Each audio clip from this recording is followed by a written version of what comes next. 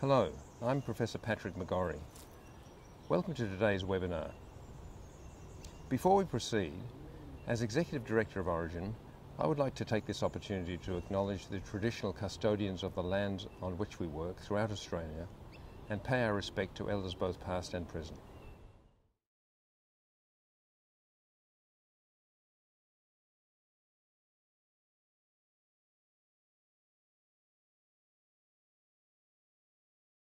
Thanks for joining me today for this webinar on alliance processes and engaging young people. My name is Elon Gersh and I'm a clinical psychologist and clinical educator with Orygen, the National Centre of Excellence in Youth Mental Health. And I'm really pleased to be here today to talk about these alliance processes, which I started researching during my PhD and I've extended and I'm really interested in exploring relational processes across a range of diagnostic groups and hopefully in a way that's useful for you today. So an overview of today, we're going to start with an explanation of why engagement is important. Then we're going to move to defining what I mean by the therapeutic alliance. We'll then talk about alliance rupture and repair as a process. And finally, give you some tools to manage the alliance process when it comes up in your own therapeutic treatments. So why is engagement important? As we see here, we've known for a long time that psychological therapies for youth achieve superior outcomes to natural recovery. We look at a recent review here and a figure from that, and we see the bars of positive effect sizes, the blue bars indicating positive effects following treatment, and the yellow bars indicating positive effects at follow-up. And what we see is that across a range of diagnostic groups, psychotherapies are effective with a small to medium effect size, and we can translate this using the idea of a number needed to treat. That is, how many patients do we need to treat to achieve an outcome where someone who, through natural processes, would have been defined as a treatment failure comes to be defined as a treatment success. And for psychotherapy, the number needed to treat for youth is about three people. And this compares really favourably with other evidence-based interventions. For example, using aspirin as prophylaxis for a heart attack, the number needed to treat is 129 people. So psychotherapies work. In addition to this, a range of different psychotherapies work. There isn't only one effective model. And this has been called the so-called so-called dodo bird verdict. And this comes from a story from Lewis Carroll's Alice in Wonderland, where the dodo bird gets other characters to run a race and they run round and round in circles. And at the end, the dodo bird says, everyone has won and all must have prizes. And this dodo bird verdict has been applied to therapies, where the evidence shows that really different therapies, so CBT, psychodynamic therapies, emotion focused therapies, they all seem to achieve roughly comparable outcomes when they're applied in a way that's intended to succeed. And this has led many researchers and clinicians to wonder what are the kind of common mechanisms or factors that occur across these different treatments that might be driving therapeutic change. And the most promising kind of candidate in this regard is known as the therapy relationship. So we see here a figure from a review showing that in terms of change on the left, a lot of therapeutic change happens because of extra therapeutic factors, factors that happen outside of therapy sessions. But those that happen within the therapy, common factors that cut across different treatments, actually account for more change than specific techniques that apply within treatments. So for example, cognitive restructuring in CBT. And if we turn to the right here, in terms of variability in outcomes, so positive and negative outcomes, there's a lot of unexplained variance. We don't know why some people get better and some people get worse. We know that the patients contribute themselves a lot to what gets better or worse, so it's not within our control as clinicians. But what we can seem to control or contribute to, the therapy relationship seems to account for more variability than specific treatment methods that we're applying. So we have an opportunity to think really carefully about therapy relationships and how we can get the best outcomes for our clients. So in addition to us finding from research that therapy is important, therapists tell us that therapy is important. So when we survey clinicians, the most common area of research that impacts their work, they defined as research on the therapeutic alliance and ruptures in the therapeutic alliance. And this says that therapists value engagement, they think it's important. In addition, young people value engagement and they think it's important. So a recent qualitative study that looked at what young people want and asked them what they want from psychological services had the following quote, I'll read it out. almost all participants spoke about the importance of having a good relationship with their counsellor. They seemed particularly to value aspects of the relationship that positioned their counsellor as a friend rather than as a professional and emphasise the importance they attributed to the genuineness of this relationship. So young people view it as vitally important that they engage in a real relationship with their clinician. Finally, we know what a therapeutic relationship looks like when it's going well. So we see here a table from a review with personal attributes of therapists. They're flexible, they're honest, they're perceived as trustworthy and warm, and techniques that can be used to underlie this. And we know that when those things are happening, the therapeutic relationship is going well, and the young people are more likely to have a good recovery process. So let's take a step back and take these all together. We know that therapy works, we know that a number of different therapies work, and we also know that the therapy relationship is a likely candidate as a fundamental driver of these therapeutic processes. We know that therapists value engagement, and we know that young people value engagement, and we know that it's going well. So clearly engagement is something really important that we need to offer our focus on.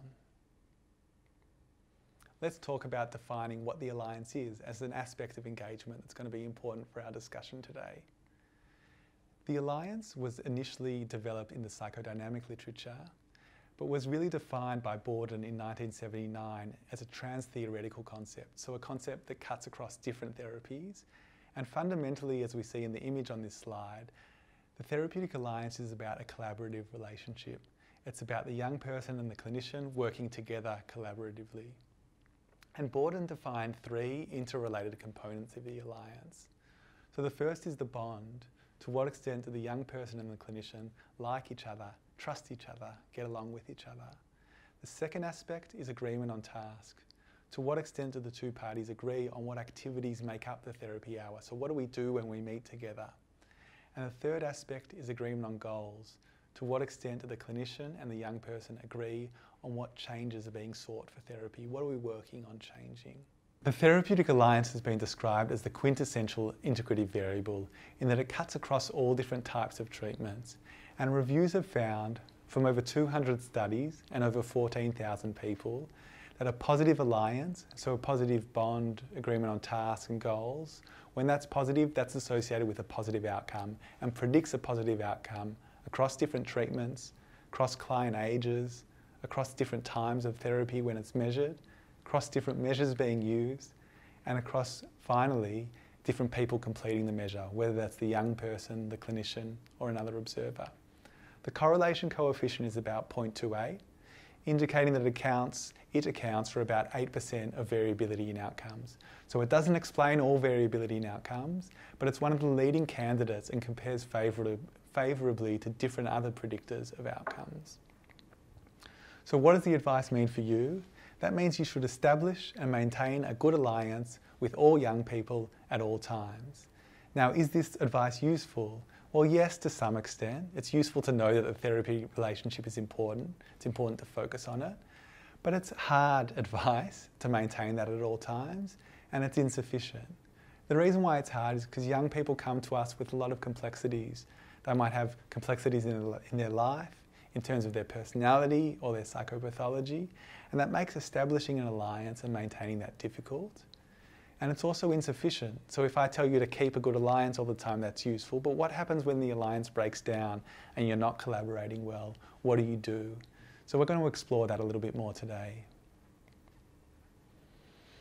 Let's turn to alliance rupture and repair.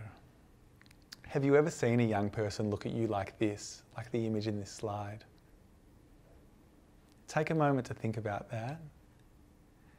And take a moment to think about what it made you feel like in the moment when they were looking at you like that. A moment to think about what you thought. And a moment to think about what you did, how you responded when you saw a young person looking at you. If you had your time again, would you respond in the same way or would you respond in a different way? So, an alliance rupture is when there's a breakdown in the collaborative relationship between a young person and a clinician. So we spoke about the three elements, the bond, the task, the goals, and that's reflective of a good alliance. A rupture can be a breakdown in any of those components or multiple components where the collaborative work doesn't seem to be working anymore. And Safran and Muran, who are key theoreticians in the area, differentiate between two different types of ruptures. A confrontation rupture, that's where the client moves against the therapist, and a withdrawal rupture, that's when the client moves away from the therapist. So, what would you notice when you see a confrontation rupture? One aspect of that, you might notice the client complaining about the therapy or the therapy activities. Why do you always ask me these questions every week? I'm sick of answering them. They might complain about the progress in therapy or the parameters of therapy. What's the point of coming along anymore? We've only got two sessions left. There's no point in me coming anymore. Or they might make efforts to control the therapist. By contrast, a withdrawal rupture would look quite different. A client may, for example, become minimally responsive, which happens in young people often where they won't respond at all or they'll respond with one word answers. They might respond with avoidant storytelling. So, an example from my PhD was the therapist says, Does this happen often in your relationship? And the young person says, My iPhone battery keeps on running out. So they're moving kind of away from the therapeutic content in the way that the collaboration is breaking down. And being overly deferential can also contribute to an alliance rupture where there's no more working together collaboration. So Safran and Muran talk about alliance ruptures as partly being inevitable and partly arising out of contrasting human needs. So as we see here, on the one hand, we have an innate human need for relatedness. We want to be connected with people, we want to be belong, belonging to a group, we want to feel communion with others. By contrast, we also want agency. We want to be independent, we want to be separate from others, and we want to define ourselves as an individual. And in moving between these two dialectical needs, in a relational context, we can have inevitable ruptures. So sometimes we feel too close to others and we need to separate out. And sometimes we feel really isolated from others and we feel like we need more connection. And ruptures partly arise out of us moving in between these two needs. And what does this mean? So we can view the alliance as an unfolding process that arises out of the contributions of both the young person and the clinician and is negotiated by both parties. Alliance ruptures can also be viewed as enactments. So, where there are relational patterns that play out in our lives, they can also play out in the therapeutic relationship, and that can be useful as an opportunity for therapeutic change and growth.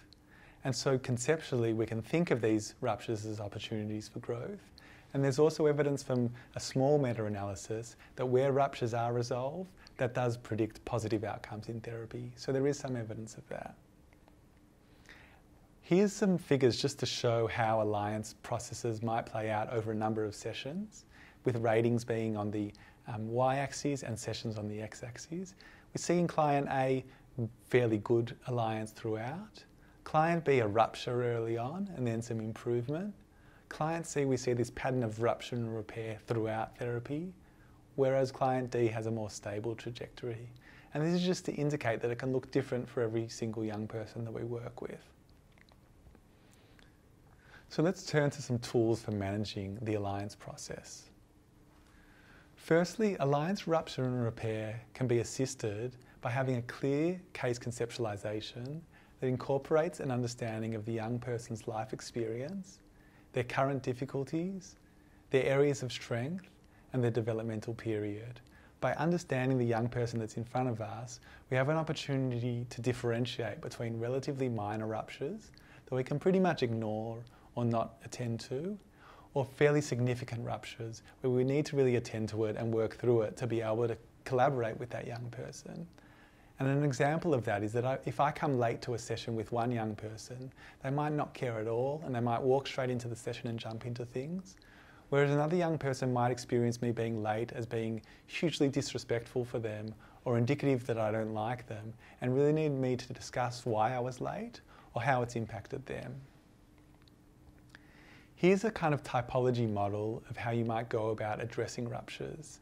So there's surface approaches, which are more superficial, depth approaches which explore ruptures in more detail, and there's direct approaches which overtly acknowledge that a rupture has occurred, whereas indirect approaches don't acknowledge the rupture but go about repairing it by indirect approaches by doing other things. So let me take, talk you through some examples. So a direct surface approach, as we see here, is providing a rationale or clarifying a misunderstanding. So the person, as we take the example earlier, says, why are you asking all these questions? And the clinician says, I'm asking all these questions because I need to get a better understanding of what's going on for you. Is it okay if I continue? So that's clarifying a misunderstanding. It's, it's direct, but it's also a surface approach. Whereas an indirect approach might be changing or reframing the meaning of tasks and goals. So this is resolving the rupture in an indirect way. So the, thera- the client says something critical, and the therapist says, How about we try doing a mindfulness exercise and move things sideways? A depth indirect approach is providing a new relational experience without overtly acknowledging the rupture. So, for example, this is a young person who comes in really angry to session and is expressing a lot of that anger. And the clinician, in response, the young person is expecting the clinician to respond in an angry way based on their past relational experiences, but the clinician responds in a curious way, in a warm way to that anger. And this provides a new relational experience without directly attending to the rupture that's going on. Finally, there's a direct depth approach. And this is using the rupture to explore a relational theme. So, what's happening in the relationship? And this final one, the direct depth approach, is what I'm going to highlight and what I'm going to talk about in a little bit more detail before coming to another approach.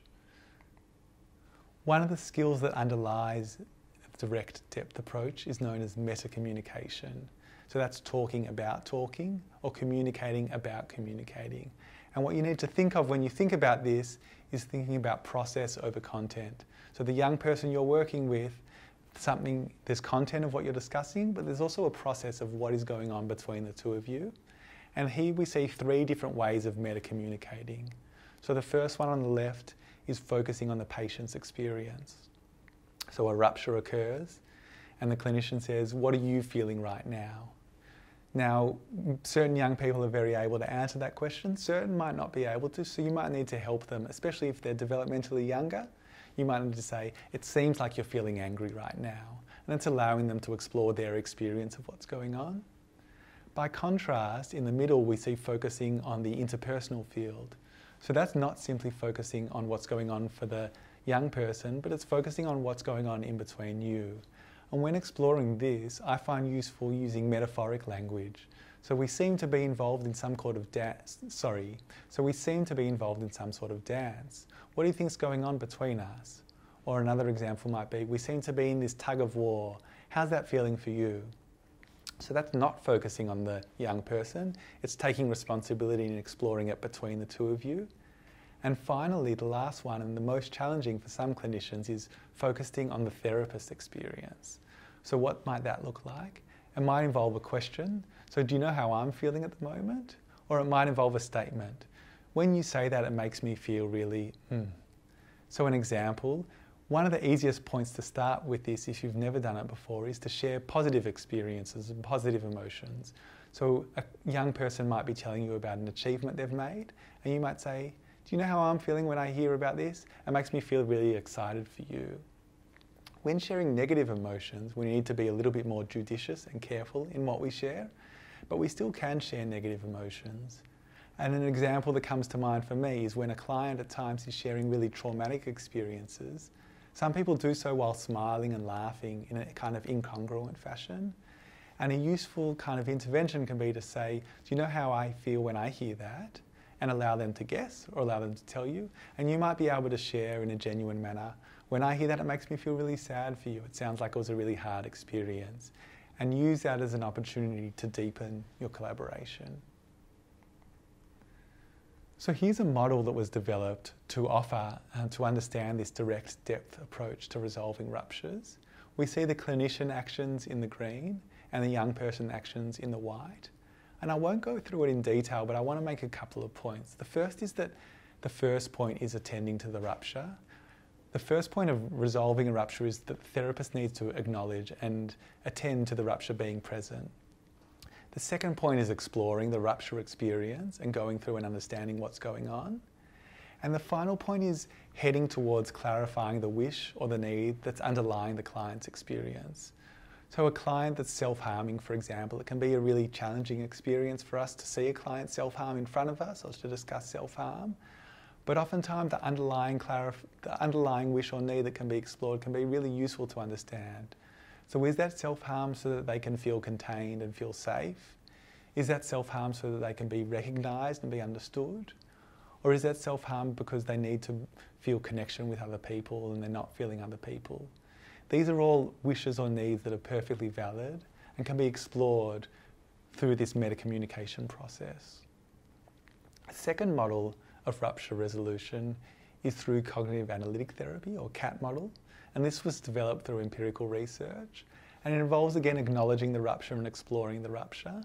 And the different aspect of this is that through the CAT model, the idea is to link what's happening in the rupture to the shared formulation of what's going on for the young person and at times also to use that understanding to integrate feelings that might be warded off or hidden from the young person.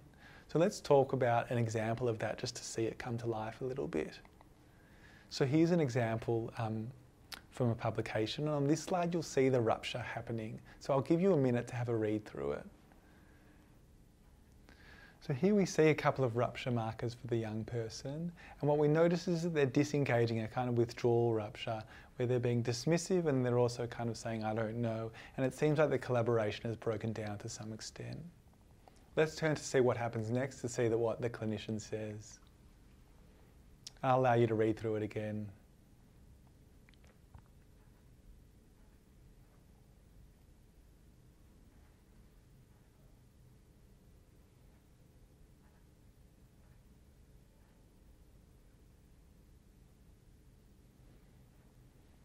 So, what the clinician does is first acknowledge the rupture and then spend some time exploring that. So, exploring what happens when the client, the young person, switches off from their feelings and then linking that to the shared formulation, shared understanding. So, the clinician says, I see how you switch off from feelings, that you can be articulate here, but you talk about in the outside world, you switch off from feelings. So, allowing the young person to kind of explore that together. And let's see how the young person responds on the next slide. I'll get you to read through it as well.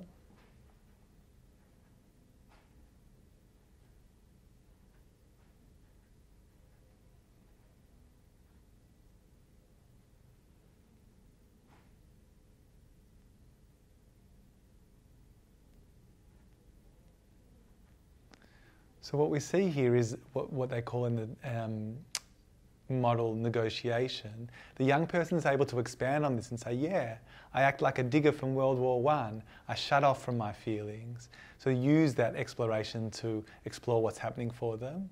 And the clinician asks the young person to expand, expand on that. So it's not something that you just do naturally. The young person says, yeah, they've reached some sort of consensus. And they use this exploration to go even beyond that. So the clinician says, Do you think this has something to do with your anger as well? And the young person says, Yeah, yes, in a kind of elevated tone of voice, suggesting that they've come to a sort of new understanding.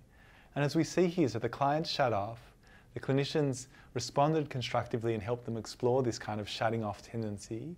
And they've made a link to show that sometimes when they do shut off from their emotions and shut off from everything, that their anger bubbles up. And in this way, use the rupture as an opportunity for therapeutic growth.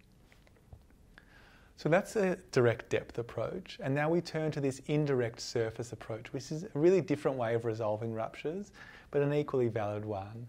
And an example of this comes from a CBT or cognitive behavioural therapy model of rupture resolution, which I'm showing here. And this is from an empirical study of CBT sessions, and it shows that when a rupture occurs, the clinician initially reviews the rupture and what's happening internally, and they change their approach and do so by summarising, exploring, and validating. And they uh, restore the collaborative relationship by encouraging the young person's participation, affirming the young person and seeking feedback to negotiate a new task in therapy. So, what are we going to do next in therapy? What you'll notice here is that there is an indirect approach. It doesn't explicitly acknowledge that the rupture has occurred, but it allows the rupture to be used to move things forward in a way that's more coherent with what the client needs. So here again, the C's for clinician and the YP's for young person. I'll get you to read through this first slide.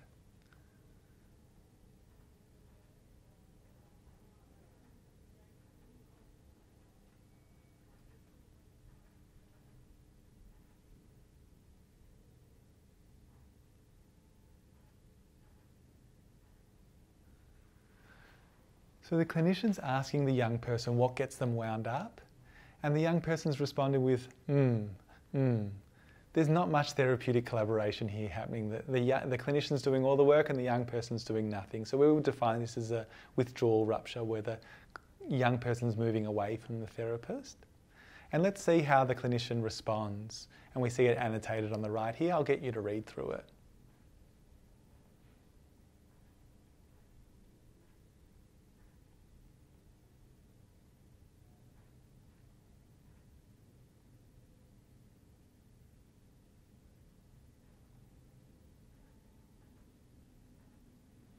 So rather than acknowledging the rupture, the clinician says, okay, which of those two do you think you would be easier to tackle?